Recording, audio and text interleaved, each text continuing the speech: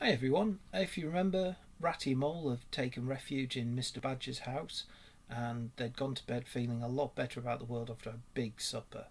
So we'll see how they're getting on. Chapter 4, Part 2.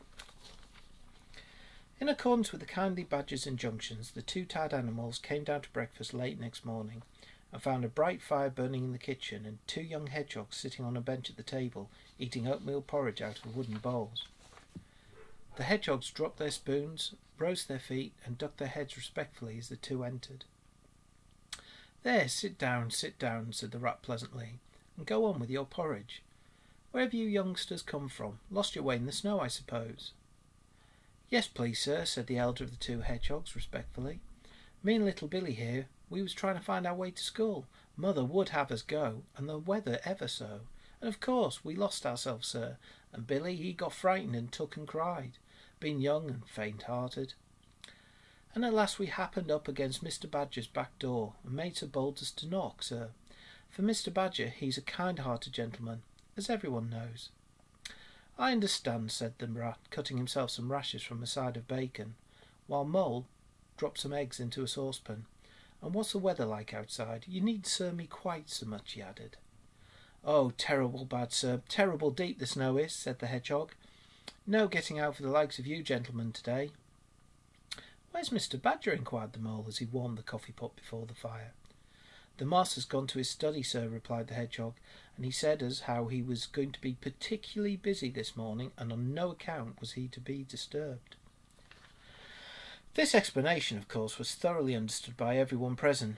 The fact is, as already set forth, when you live a life of intense activity for six months in the year, and of comparative or actual somnolence for the other six, during the latter period you cannot be continually pleading sleepiness when there are people about or things to be done. The excuse gets monotonous.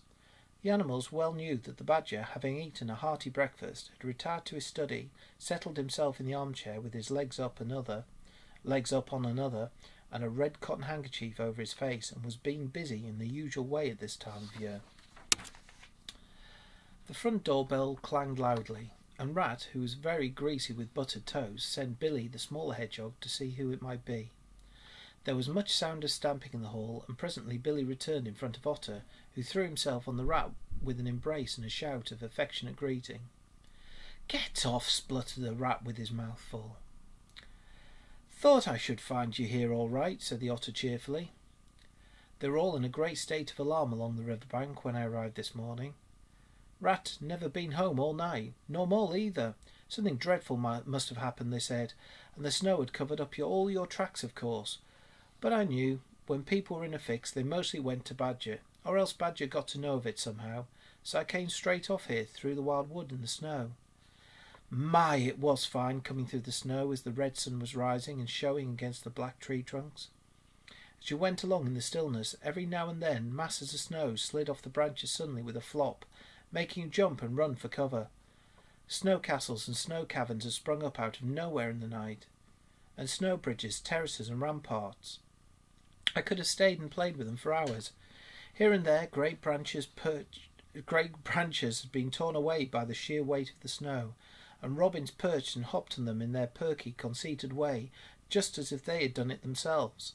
A ragged string of wild geese passed overhead, high on the grey sky, and a few rooks whirled over the trees, inspected, and flapped off homewards with a disgusted expression. But I met no sensible being to ask news of. About halfway across, I came I came upon a rabbit sitting on a stump, cleaning his silly face with his paw.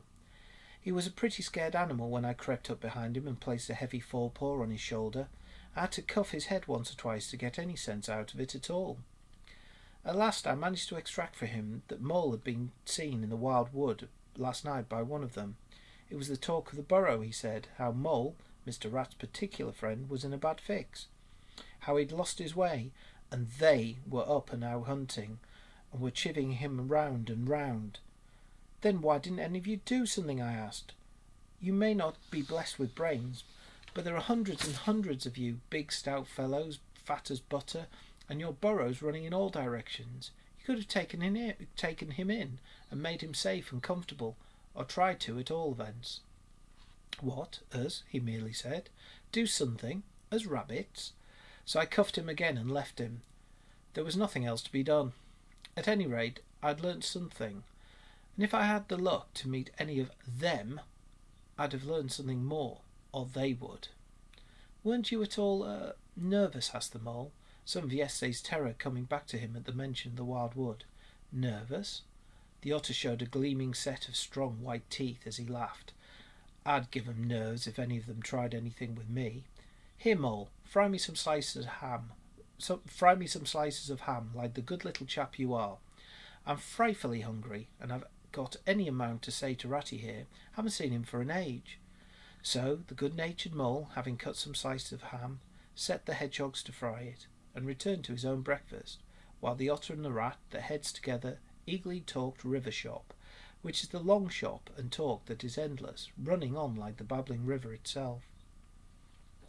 A plate of fried ham had just been cleared and sent back for more, when the badger entered, yawning and rubbing his eyes, and greeted them all in his quiet, simple way, with kind inquiries for every one.